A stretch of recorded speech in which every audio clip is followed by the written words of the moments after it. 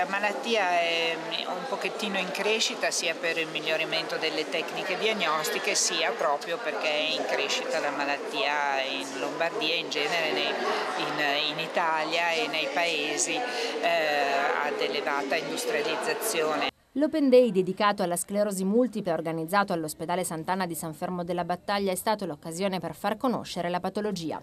Medici, psicologhe, un'infermiera specializzata del centro dell'unità operativa di neurologia dedicato alla malattia e i volontari dell'AISM, Associazione Comasca Sclerosi Multipla, sezione di Como, hanno incontrato e informato i cittadini su questa patologia cronica del sistema nervoso centrale che può portare a diversi tipi di invalidità, fino all'allettamento.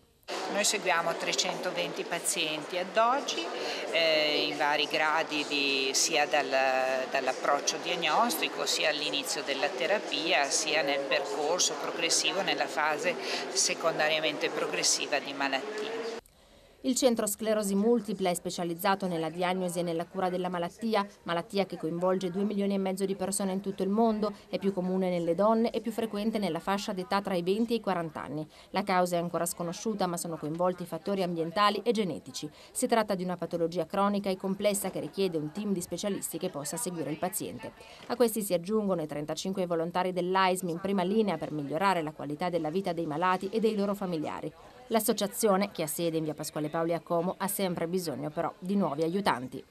Vuol dire volontari, abbiamo la possibilità di formarli, c'è posto per, eh, per qualsiasi attività a seconda della disponibilità delle persone.